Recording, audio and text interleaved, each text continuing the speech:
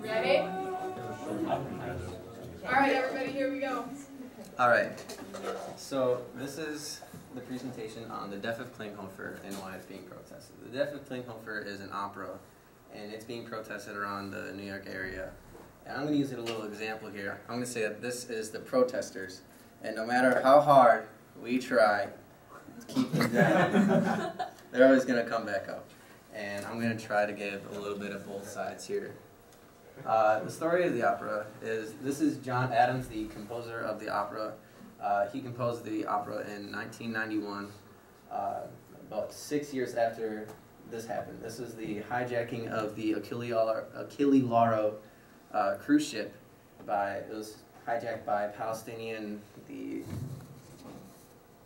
specifically the uh, the Palestinian Front um, in 1985.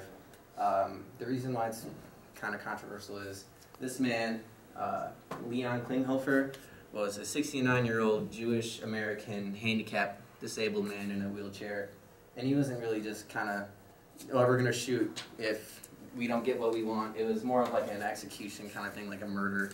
So that's why it's a little bit more like kind of a touchy topic. Uh, but why it's being protested is the inspiration for the opera itself. Uh, he kind of wrote it in a way of trying to prove that even though these people committed these horrible things, that they're still human and that they're just like all of us, and they have reasons and they have inspiration for doing these kinds of things. And I'm going to show you a video of what John Adams has to say.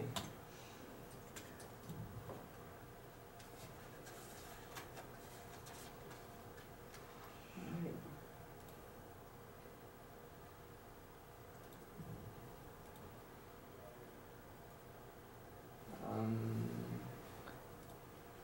I just have to turn this on.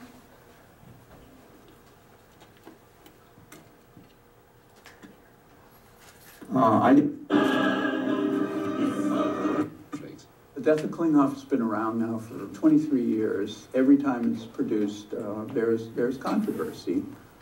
Uh, I didn't compose the opera to court controversy. In fact, I, I was a bit appalled at, at how uh, hot some of the response was. And there have been people um, including you know many esteemed writers and music critics who have um, said that this opera should never be performed because it's it's too sensitive. Our opera tries to look at the terrorists and the passengers and see humanity in both of them. And for some people, that's an egregious mistake.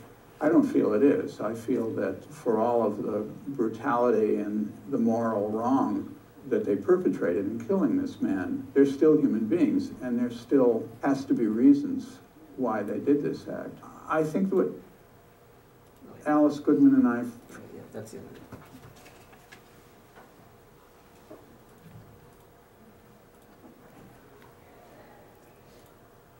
All right, so now we're going to talk about the protesting that kind of goes on. Uh, this is a picture from Ferguson. It's nothing like this. Uh, it's kind of more like what's on the, on the left side for you guys, or the right side, I'm sorry. I'm going to talk about the picture on the top real quick. Uh, this is, was a protesting that happened on the first day of the new opera back in October of 2014. Uh, in the front there, you have one side of the street, there's a hundred people in wheelchairs saying, uh, they have signs that say, I am Leon Klinghoffer. And on the other side of the street, there's just a bunch of people with signs that say something along the lines of, Klinghoffer opera, propaganda masquerading as art, and Klinghoffer executed by PLO terrorists. So this, this is kind of a hot topic. Uh, this is was from the former New York City Mayor Rudy.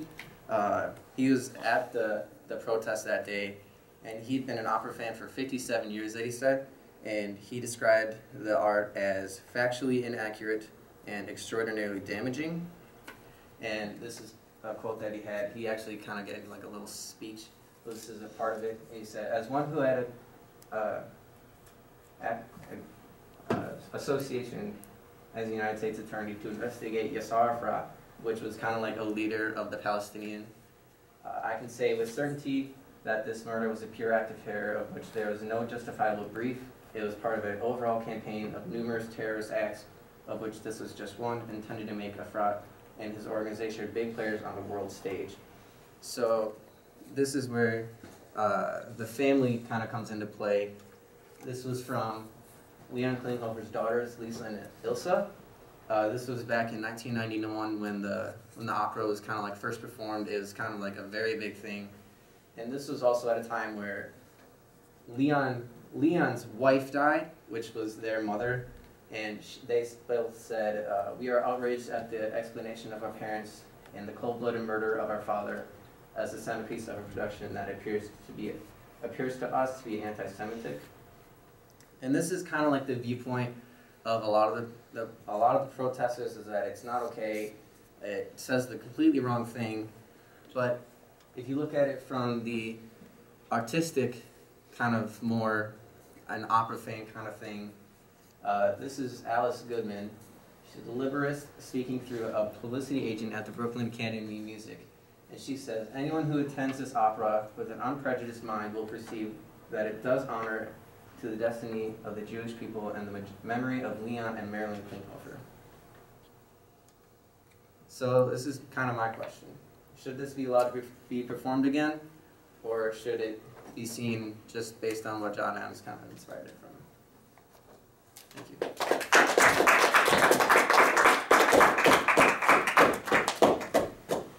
Thank you, Austin. You are more than welcome. Mm-hmm.